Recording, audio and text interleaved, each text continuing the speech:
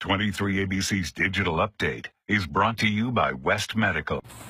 Good evening. I'm Jessica Harrington. Here's what's making headlines around Kern County.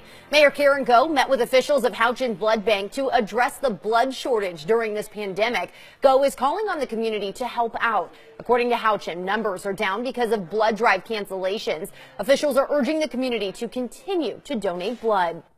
California State University Bakersfield is postponing its spring commencement. The university made the announcement earlier today. Officials say the CSU Chancellor's office made the directive. CSUB officials also added that a new date for the ceremony has not been identified, but they said it will not be happening this spring. Restaurants have been forced to close their dining rooms because of COVID-19 and hope those services will be enough to keep them afloat. The National Restaurant Association says it's too soon to tell how many people will lose their jobs. It's talking to members of Congress this week about possible aid for workers. Meanwhile, Uber Eats is waiving delivery fees in an effort to get more customers to place orders. The CDC says currently there's no evidence that COVID-19 can be transmitted through food.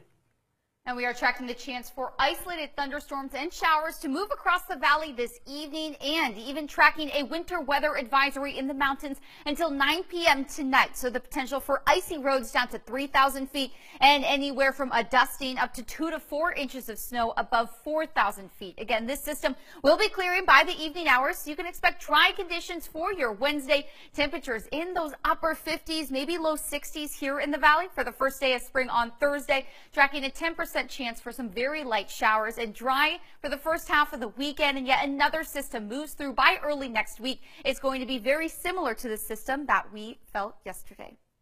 That's your latest news and weather update. For the latest news anytime, be sure to log on to our website, turn to 23.com.